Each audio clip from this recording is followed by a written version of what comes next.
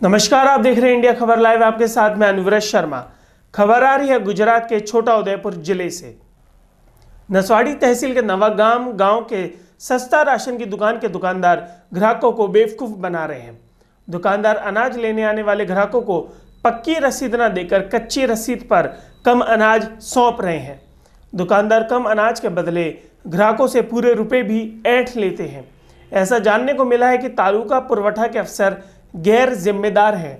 Income tax के department भी जाँच करेगा कि दुकानदार ने कैसे इतनी बड़ी प्रॉपर्टी खड़ी कर ली है। इंडिया खबर लाइव के लिए गुजरात नर्मदा से गौतम व्यास की रिपोर्ट।